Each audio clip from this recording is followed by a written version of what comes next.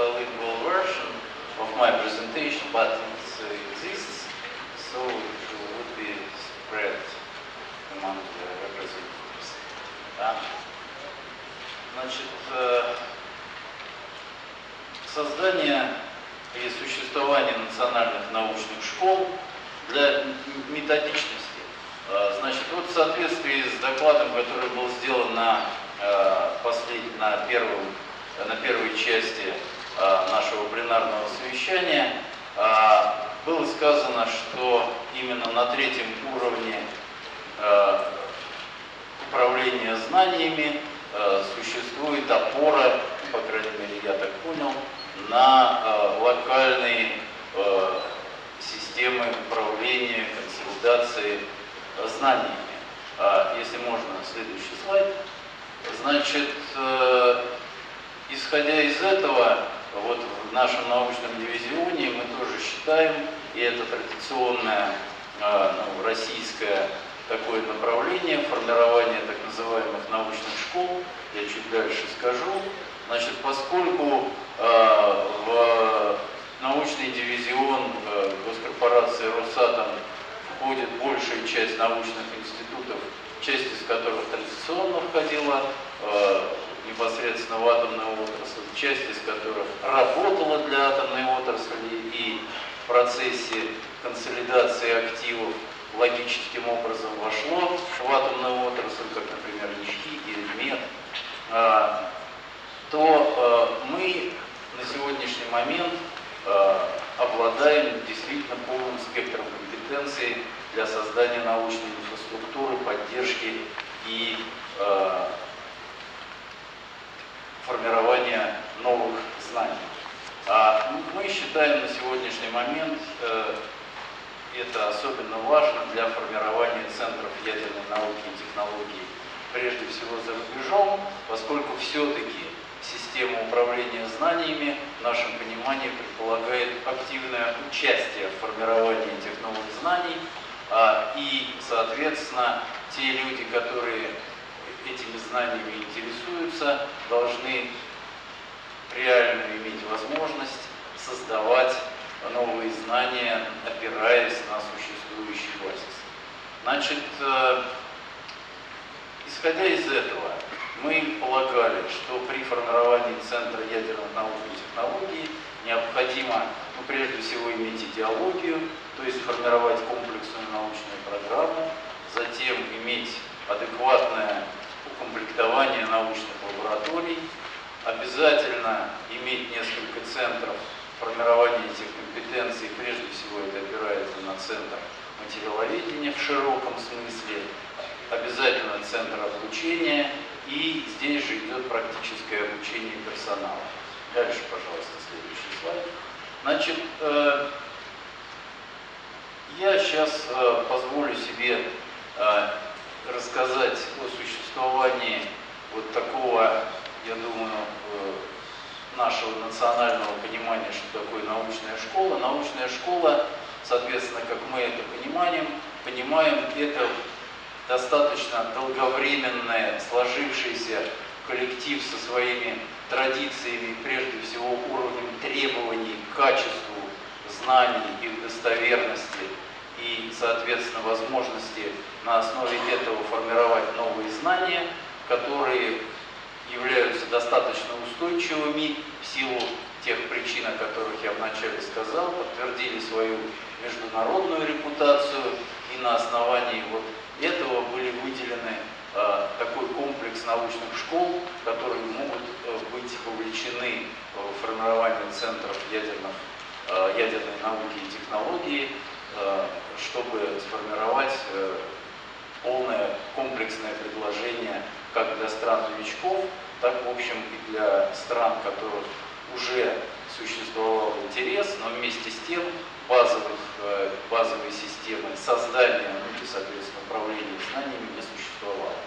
Соответственно, э, туда входят, это, конечно, ядерно-физические методы и средства анализа состава вещества. Прежде всего, мы считаем, что помимо, собственно, создания новых знаний, было бы интересно ставить и прикладные э, задачи для подобного рода лабораторий. это определение, прежде всего, состава э, для горнодобывающих и металлургической промышленности, это определение э, концентраций в чистых, особо чистых материалах, и это э, особые задачи по криминалистике и археологии, а также это организация массового анализа для горно-рудной промышленности, что было сделано в свое время в Советском Союзе и получило широкое распространение. Дальше, пожалуйста. А, ровно такая же ситуация по физике и химии радиоактивных элементов. Соответственно, это прежде всего на, на основе этой научной школы это создание лаборатории радиоизотопов, Соответственно, это все методы и технологии выделения радиоизотопов. Мы предполагаем, что все-таки в основе Центра ядерной науки и технологии является наличие соответствующей базы, это либо реакторная, либо ускорительная база. Естественно, для наработки и исследования радиоизотопов это прежде всего реактор определенной мощности. Ну и тем не менее для передачи методик и технологий общения, ну, так скажем, обращения с радиоизотопами необходимо э, вот э, наличие э, очень квалифицированного персонала и в том числе умение работать с горячими так скажем, камерами разной степени защищенности. И так, таким образом это можно делать для радиоизотопов с одной стороны, с другой стороны это контроль радиоактивных индикаторов, то есть, соответственно, отслеживание э, разного рода потоков, как аэро, так и гидропотоков по территории соответствующих стран. Дальше это э, датирование и археометрия. Э, следующий слайд. Значит, э, дальше это центр обучения. Э, это, естественно, все вопросы, связанные со стерилизацией, это вопросы, связанные с уничтожением насекомых вредителей, это вопросы консервирования и увеличения сроков хранения продуктов, ну и взаимодействие с пассивным фондом, а также мутационная селекция. Соответственно, есть полные разработки, э, связанные с оборудованием, с дозами, необходимыми для Э, воздействия на те или иные вещества, включая очистку сточных вод и так далее, и так далее. Дальше, пожалуйста. Значит, это э, радиохимические исследования. Значит, это очень большие школы, которые сложились прежде всего аналитические, э, прежде всего это в прежде всего в Амнифте, которые связаны с комплексной оценкой руд, потому что э, мы понимаем, что таким образом можно существенным образом поднять эффективность э, добычи полезных ископаемых, если мы можем на основе тщательной оценки состава э, не только элементного, но и минералогического соответствующих элементов, сразу предложить комплексные технологии по извлечению всех возможных полезных ископаемых из комплексных руд. А, при этом э, очень важны методики оценки содержания тех или иных элементов. С одной стороны, с другой стороны, э, возможность их извлечения. Соответственно, э, для прикладных задач это вот, как мы говорим, это комплексная и в том числе гидрометаллургическая переработка сырья, это исследование минералогического и химического состава, это разработка, что очень важно, технологических регламентов, а также э, очистка в данном случае воды и э, от э, раз, разного рода загрязнений. Дальше, пожалуйста. Значит, это вопросы реакторного и традиционного материаловедения. Мы считаем, что именно опыт советский и российский, потому что, вот, как известно, первый тысячник который пятый э, Нововоронежский блок на сегодняшний момент отработал уже 36 лет, и предполагается продление его ресурса там, примерно там, до фактически 50 и более лет. Это было основано на понимании поведения материалов под действием э, обучения. Вот, как известно, Сергей Владимирович сегодня сказал, что именно э, эти знания привели к возможности предлагать на международном рынке реакторы со сроком службы более 80 лет. Соответственно, такие уникальные знания, которые накоплены при эксплуатации и создании материалов э, для ядерной энергетики, являются, по нашему мнению, теми знаниями, которые мы можем передавать во внешний мир. Значит, поэтому это не только исследование свойств создания материалов включая покрытие на сегодняшний момент, это обязательно сертификация металлических и неметаллических материалов, это экспертиза разных механизмов разрушения, ну и, соответственно, поведения материалов в экстремальных условиях, прежде всего под воздействием различных э, радиационных воздействий, а также это материаловедческий надзор за безопасной эксплуатацией соответствующих объектов атомной энергетики.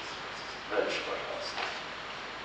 Значит, э, школа по исследованию физики плазмы э, – это на сегодняшний момент прежде всего это термоядерные, направления термоядерные, но при этом э, можно говорить о возможности разными методами удержания этой самой плазмы. Это поведение, опять же, материалов под воздействием высокотемпературной плазмы – а также воздействие плазмы на состояние вещества, поэтому это помимо вот, э, собственно, исследований непосредственно поведения плазмы и такого прагматического вопроса, как э, молния защита, это создание и применение плазменных пучковых систем э, в промышленных и медицинских целях, там, например, для упрочнения поверхности и воздействия там, ионно-протонного на медицинского, медицинского применения лазерного. Дальше, пожалуйста. Значит, э, вот поэтому на сегодняшний момент мы создали такое комплексное предложение из шести основных направлений. Считаем, что они все э, имеют э, очень эффективные на сегодняшний момент предложения, поскольку основаны на более чем 45-летнем опыте работы соответствующих научных Э, подразделений школ в институтах Росатома и за счет э, взаимодействия этого опыта и наших специалистов с новыми пользователями и теми людьми, которые будут участвовать и будут работать в этих центрах ядерной науки и технологии, будут эффективно возникать новые, новые верифицированные Спасибо. Спасибо большое. Уважаемые коллеги, есть время для двух вопросов.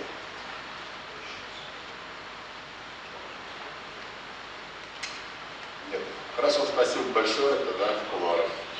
А, есть, да, извините, пожалуйста. У меня вообще сразу два вопроса. Э, ну, короткие. Вот до 2011 года в этом здании существовал снятый фонд. И в его архивах хранилось более полутора миллионов единиц хранения научных документов, отчетов производственных. Потом, значит, он закончился. И поэтому вот первый вопрос. А, есть ли у вас э, что ли, отношение к этому событию? И как-нибудь повлияло то, что снятая форма нет, а деятельность начинается, по сути, по новому? Это первый. И второй вопрос такой. После снятого формы в Росатоме была и существует до сих пор достаточно разветвленная система э, центров данных. Теплофизический центр, э, посредством материалов, 17 ну, центров разных организаций. И вот на сегодняшний день эта деятельность продолжается. Но э, вот здесь я никого не увидел из людей, которые представляют эти центры знаний. А как вы будете учитывать их существование?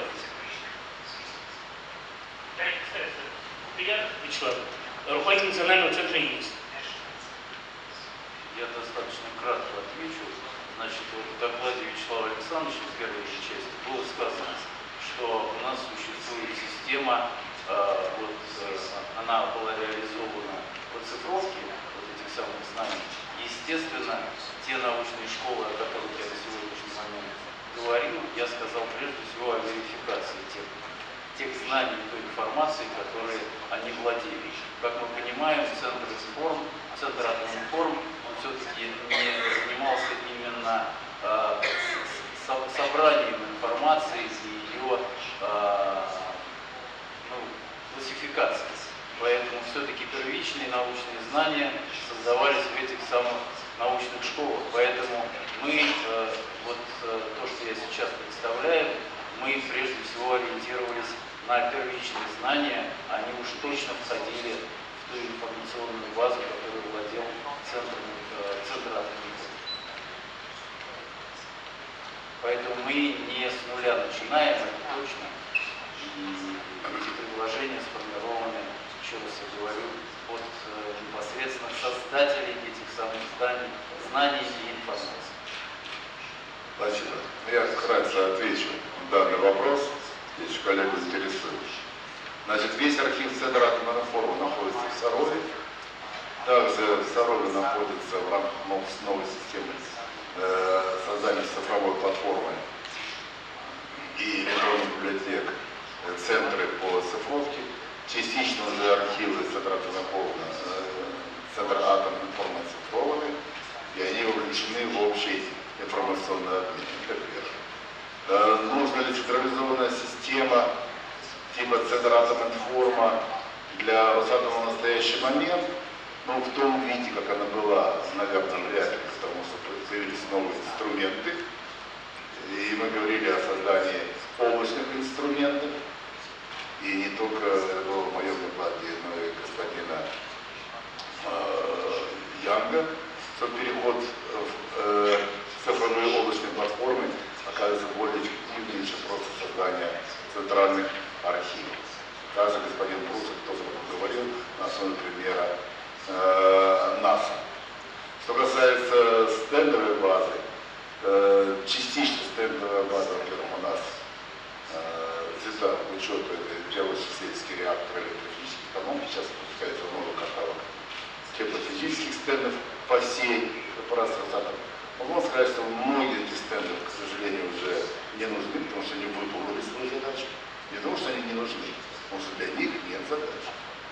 Информация, которая там сохранена, она опубликована в отчетах. Отчеты входят в электронную базу данных цифрового контента, который используется в общей системе управления знаний. Верно?